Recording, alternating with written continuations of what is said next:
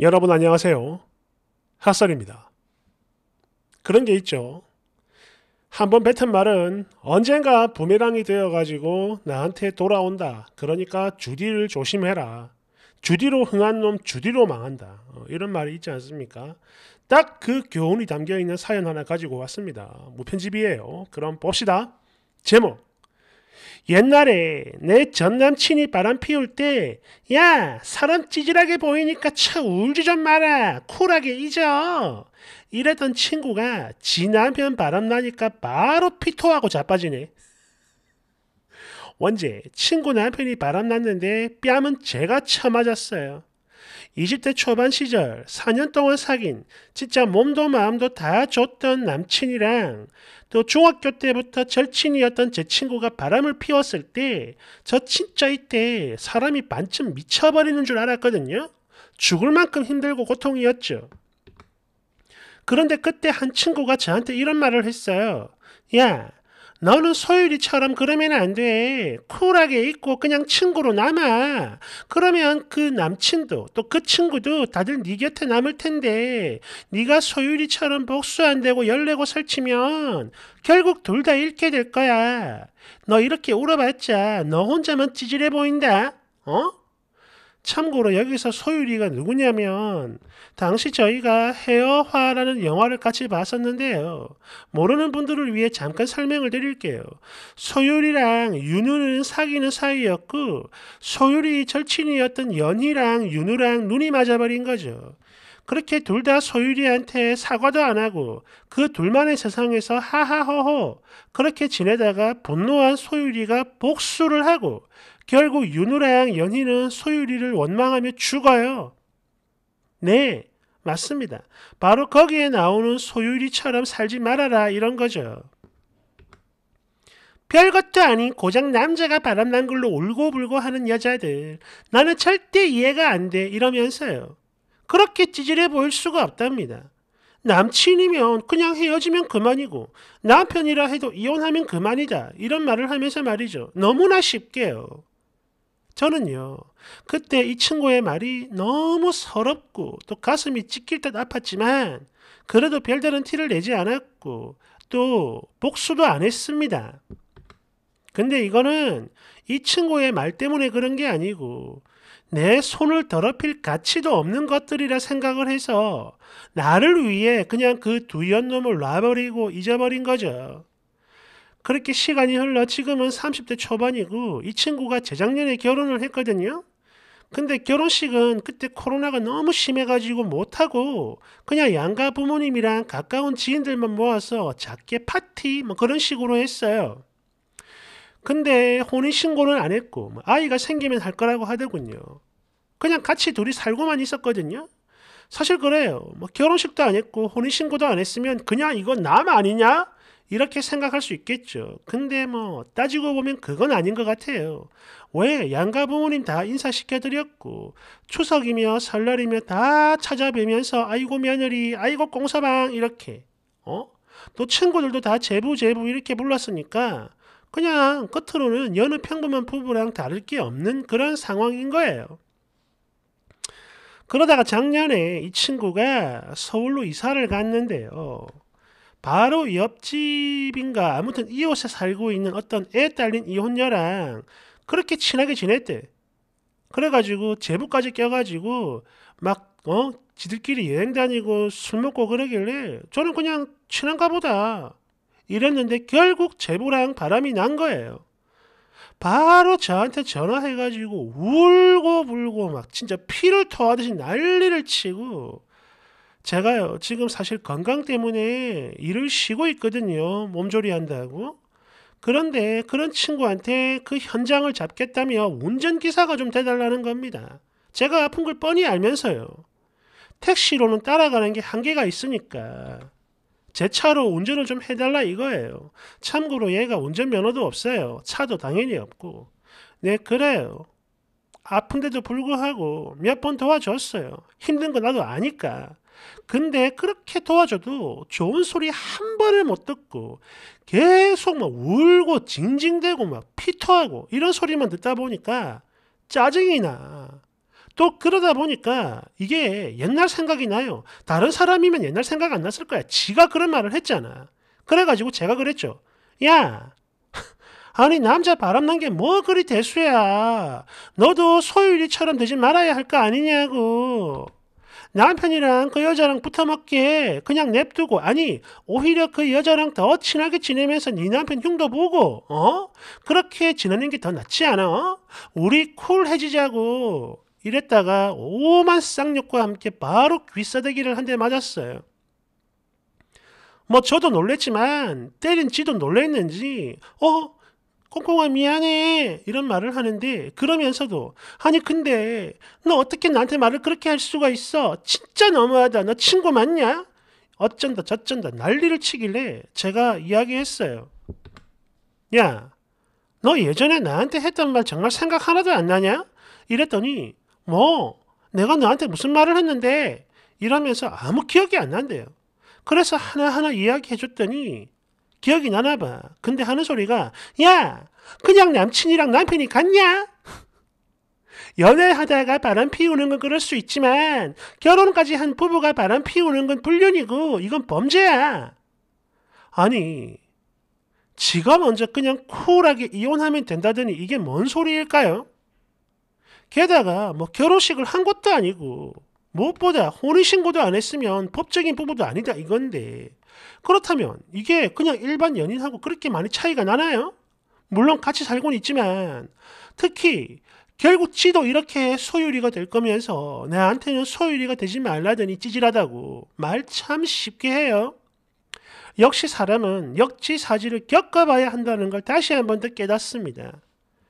자기가 겪어보지 않은 일을 이러쿵저러쿵 조언을 한답시고 성인 군자인 척하지만 막상 이렇게 지가 이런 일을 당하면 이성적인 판단이 되겠냐고 겪어보니 지도 알겠다 이거겠죠.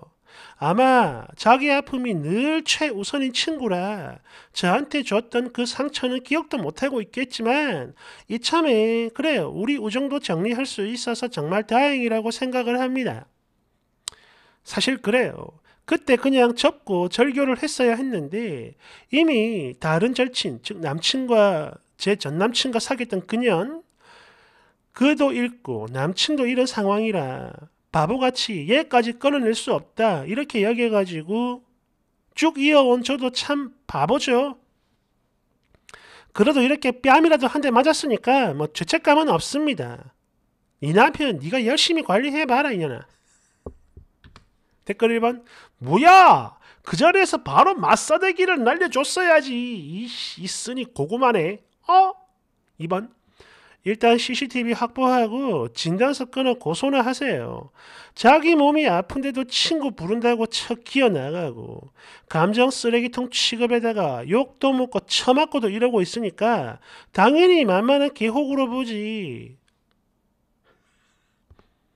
3번 아니다. 이건 아니야. 일단 불러내. 불러내가지고 한 대 그대로 때려주고 그때 손절해라. 받은 건 그대로 돌려줘야지 않겠니? 그게 공평한 거잖아. 어? 4번. 잠깐만. 마지막에 이상한데? 설마 남친이랑 바람 피웠던 친구가 저 소율이 이야기를 했고 지금까지 인연을 이어온 거예요? 쓰니 지금 제정신이야? 와씨 너야말로 제정신 아닌 거 아니냐? 아니 어떻게 이 글을 이렇게 읽을 수가 있어 미친 거요? 5번 아픈데도 도와줬으면 그 비용이나 달라고 하세요.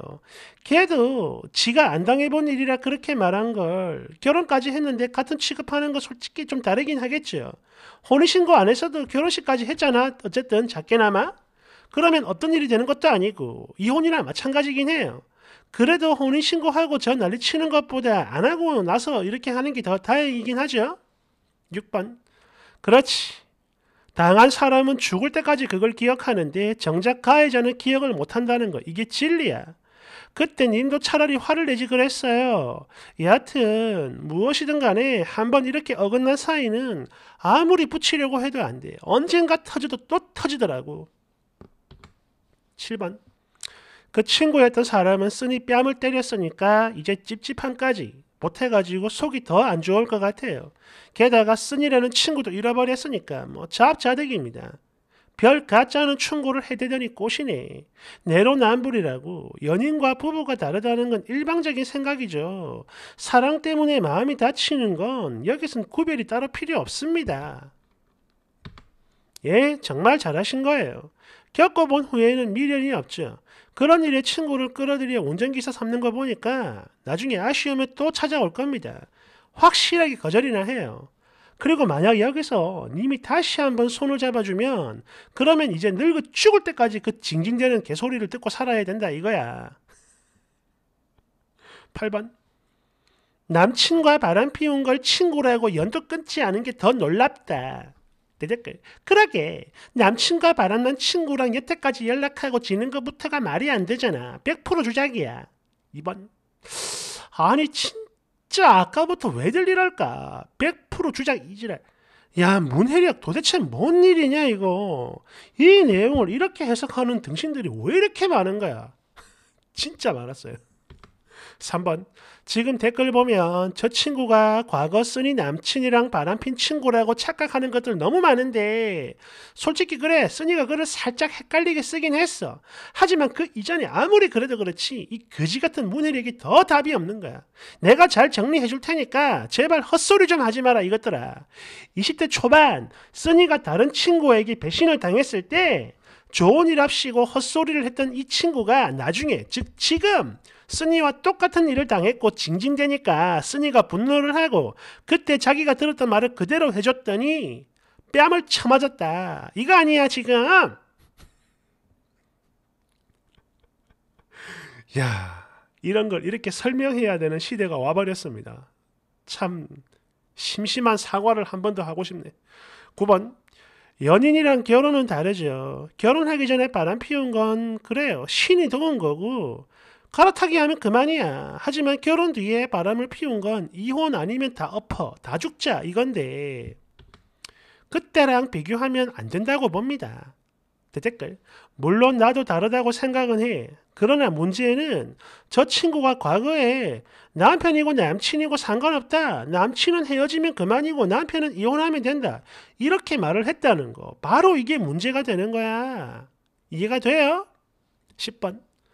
남친일 때와 남편일 때 크기가 다른 건 사실입니다. 그러니 당연히 극복 가능성, 어, 가능함, 그거의 크기도 다른 거고. 그런데 솔직히 이렇게 되기 전에 처음에 친구가 그딴 말을 짓거렸을 때 그때 거리를 뒀으면 좋았을 거 아닌가. 어? 이렇게 엮이거나 도와줄 일 자체가 없게 말이지. 어쨌든 이번 일은 쓰니가 예전 그 일을 복수하려고 벼르고 있던 형태밖에 안 된다 이겁니다. 그럴 거면 말이지 아예 더 세게 확 먹이든지 치명타 말이야 뒤져버리게. 어정쩡하게 뺨이나 맞고. 11번. 에이 아무리 그래도 결혼과 연애는 다르죠. 연애에서 남친이 바람 피운 건 그딴 쓰레기 같은 놈 있고 친구한테 현생 살라고 네가 신경 쓸 가치도 없다는 의미에서 복수하는데 신경 쓰지 말고 마음 쓰지 말아라. 이런 말을 할 수 있는 거지만 결혼해가지고 남편이 바람을 피우는데 그게 되겠냐고요 하물며 상간녀랑 잘 지내라니 님은 뺨을 맞아도 싸요. 돌려주고 싶었던 상처가 있을 순 있어도 일반 사람들이 다 님처럼 갚아주진 않아요. 뭐, 물론 뭐 어, 그냥 남친과 남편 뭐 크기가 다르겠죠. 하지만 그 함부로 아무리 그렇다 해도 그, 그 사람의 고통과 아픔을 다른 사람이 함부로 재단을 해서는 안 된다라고 봅니다. 어쨌든 이런 경우에는 뭐 지가 뱉은 말 지가 참아졌다라고 보면 되겠죠. 기억도 못해. 어, 기억을 못한다는 것은 그때 그 순간 그냥 가볍게 아무 생각 없이 말을 했다는 증거입니다. 음, 그죠? 감사합니다.